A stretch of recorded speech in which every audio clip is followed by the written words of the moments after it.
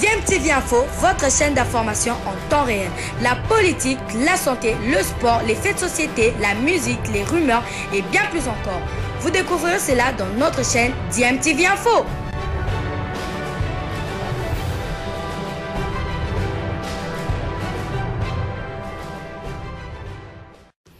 Vous êtes sur DMTV, bonjour ou bonsoir, tout dépend de l'heure à laquelle vous nous suivez. Tout plaisir est pour nous de vous retrouver, mais surtout de savoir que vous êtes nombreux en train de suivre votre chaîne YouTube DMTV, DMTV qui vous propose l'actualité, mais vous propose aussi des analyses et des réflexions sur des sujets d'actualité, sur des faits sociaux ou tout simplement des réalités que nous observons ici chez nous en République démocratique du Congo.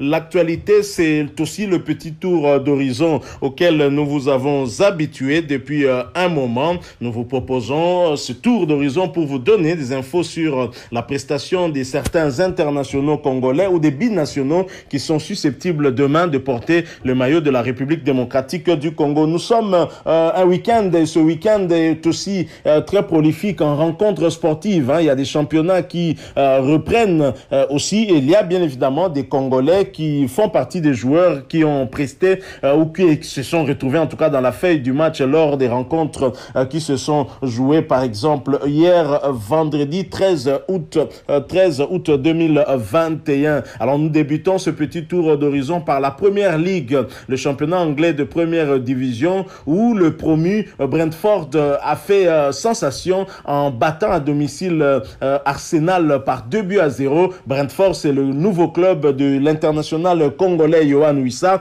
Johan Wissa qui est arrivé à pas très longtemps de Lorient et qui euh, avait été euh, agressé hein, euh, à l'acide. C'était en début de mois de juillet par une dame, mais qui finalement a été soignée et en train de répondre peu à peu. Il a été d'ailleurs convoqué pour cette rencontre, mais Johan Wissa n'a pas fait son apparition pour la première fois en, en première ligue sur le terrain. Mais bonne nouvelle pour lui quand même, puisque son équipe est venue à bout d'Arsenal par la marque de 2 buts à 0. Les deux premières périodes se sont partagées euh, chacune un but et euh, Brentford commence fort à la 22e minute par Sergi Canos, ouvre le score 1-0. La mi-temps se solde sur ce score alors qu'on espérait, on pensait euh, que Arsenal du club de Sambi Lokonga, petit frère d'un international congolais, Paul José Mpoku, euh, comme on aime bien l'appeler, était titulaire par contre hein, du côté de Arsenal, lui qui vient aussi d'Anderlecht en Belgique.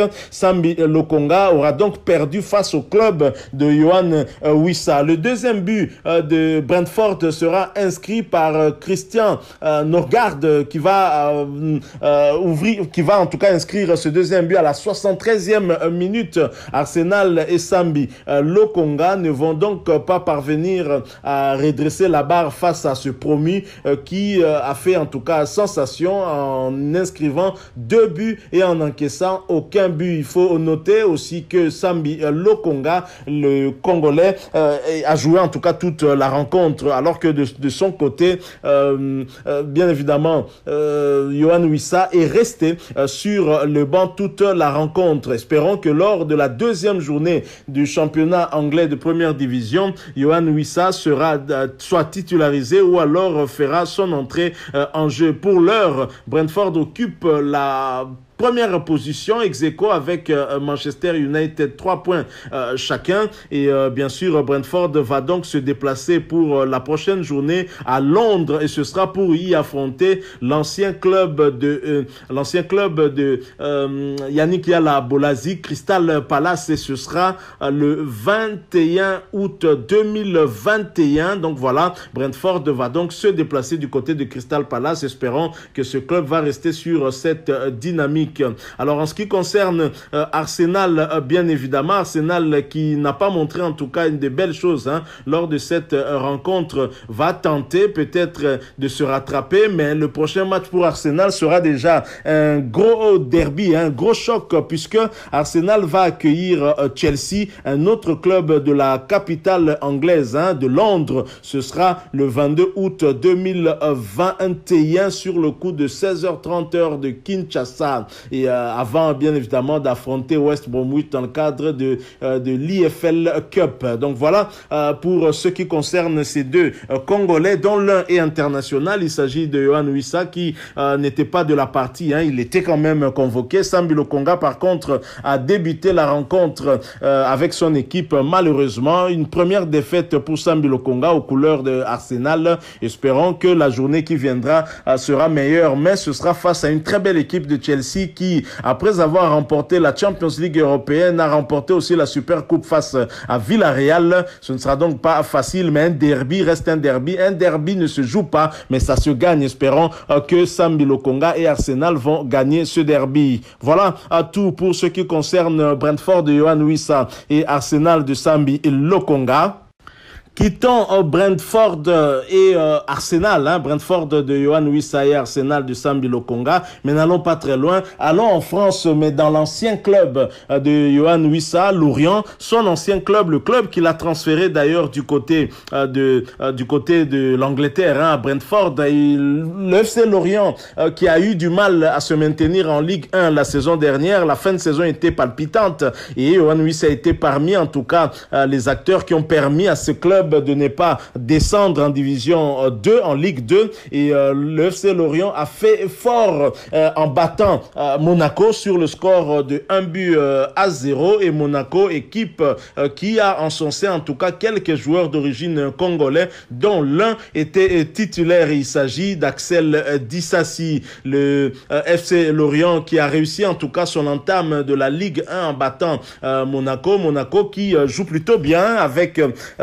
les bons résultats que cette équipe avait eu à réaliser euh, dans le cadre de la Coupe de la Champions League. Alors, euh, la première mi-temps débute euh, un peu en faveur de Lorient puisque cette équipe réussit l'ouverture du score par Terem Mofi à la 31e minute.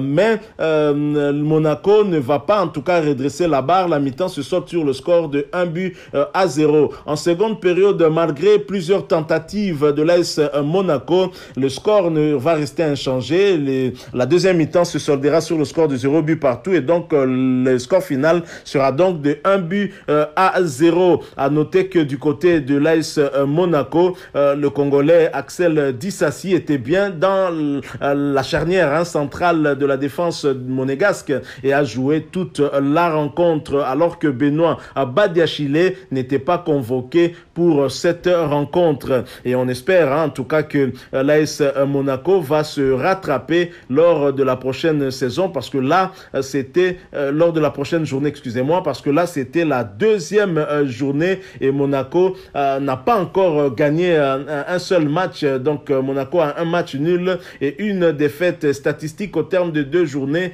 n'est pas en tout cas très bonne puisque Monaco n'a qu'un seul petit point. Alors, pour ce qui concerne Monaco, bien évidemment, le match euh, en championnat, ce sera le 21 août euh, prochain et Monaco va euh, recevoir le Racing Club de Lens de Gaël Kakuta pour la troisième journée de Ligue 1 française. Mais avant cela, l'AS Monaco recevra d'abord Shakhtar Donetsk en Champions League européenne. Ce sera le 17 août 2021. Et ça, c'est, c'est un gros client. Ce sera donc un match difficile et compliqué pour l'AS Monaco. Donc voilà Monaco qui perd du côté du FC euh, Lorient et euh, euh, ça, ça ne va pas très fort hein, depuis le début de cette Ligue 1 parce que la première journée, Monaco avait fait jeu égal, hein, un but partout à domicile. C'était le 6 août dernier face à, un autre club d'un international congolais. Il s'agit du FC Nantes, club de Samuel Moutoussami et Monaco n'a pas très bien démarré cette,